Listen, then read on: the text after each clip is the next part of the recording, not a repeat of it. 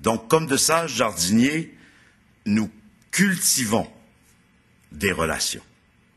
Nous sommes un peu à la merci de la météo, qui dans notre cas s'apparente à des crises ou des tempêtes de terrorisme, des ouragans de strass, la fluctuation du dollar ou encore le prix de l'essence.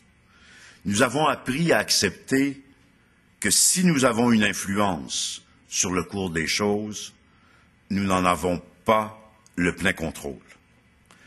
En fait,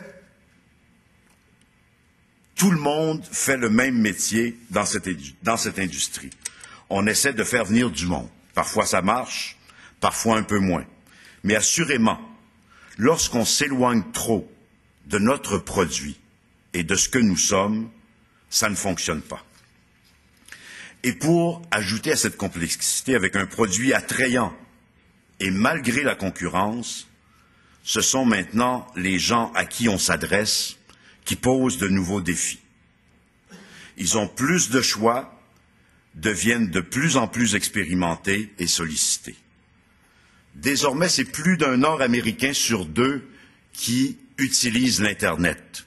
C'est plus d'un Nord-Américain sur, sur trois qui utilise l'Internet pour réserver le tout ou une portion de son voyage, que ce soit une chambre d'hôtel, une location de voiture ou un billet d'avion.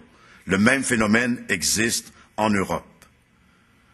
Juste pour vous donner une idée de ce que représente l'Internet dans notre monde, à titre d'exemple, en 2005, 5,5 millions de visites sur le site Internet de Tourisme Montréal.